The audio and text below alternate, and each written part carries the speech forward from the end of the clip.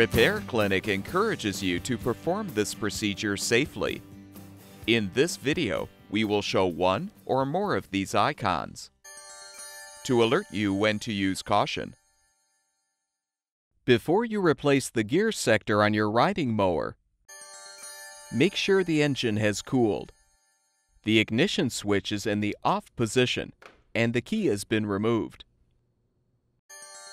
We recommend performing this procedure with little or no fuel in the tank. Now lift up the hood and use a 3 8 inch socket to help unthread the fuel tank mounting bolts.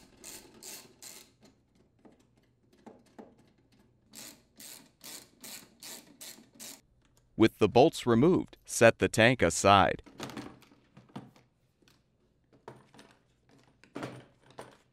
Now use a 9 16 inch socket to help loosen and unthread the steering support mounting bolts.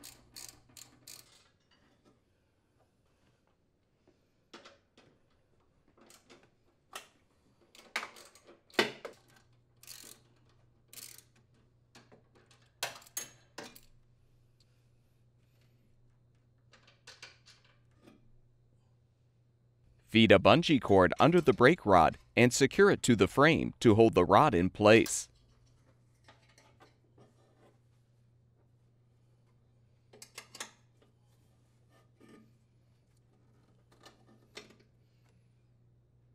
Next, use a half-inch socket to help unthread the mounting bolts on both sides of the steering plate assembly.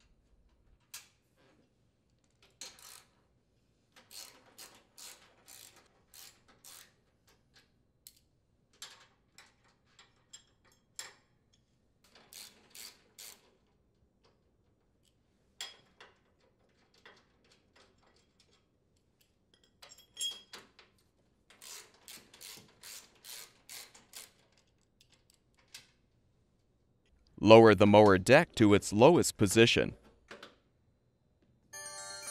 Then detach the steering plate. Use a 3 quarter inch socket and an adjustable wrench to loosen and unthread the nut and bolt securing the gear sector to the plate.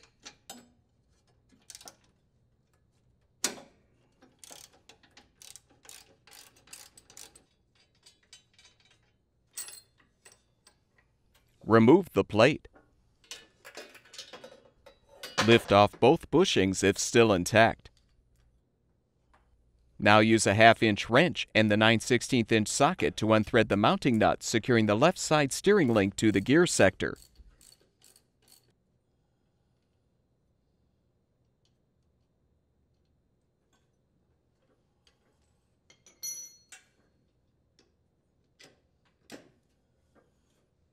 Unthread the nut to release the right side steering link, and remove the old gear sector.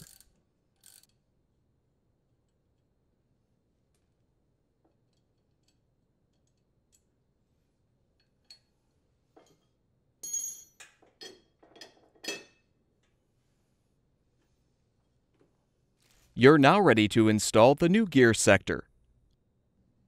With the teeth facing downward, Insert the left and right steering link mounting bolts through the bottom of the new gear sector.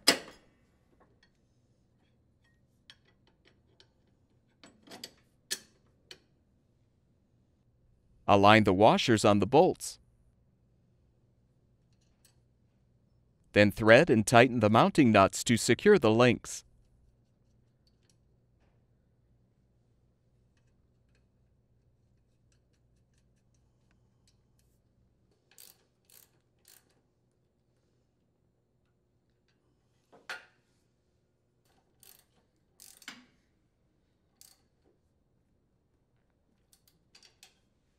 Slide the bushings over the nuts.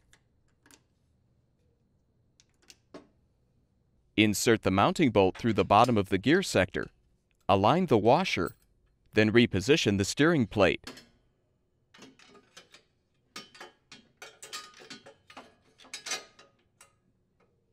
Thread the mounting nut and tighten to secure the assembly.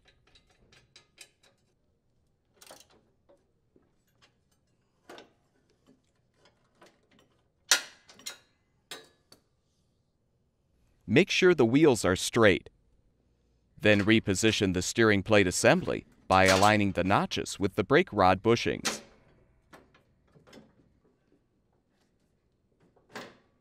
Replace the mounting bolts to secure.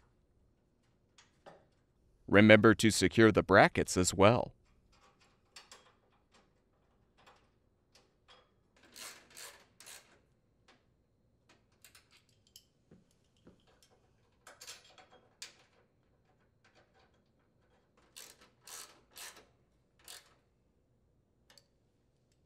Remove the bungee cord.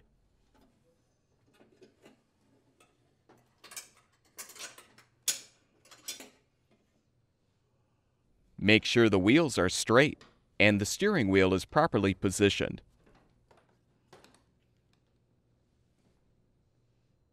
Reposition the steering shaft and support. Then rethread and tighten the mounting bolts.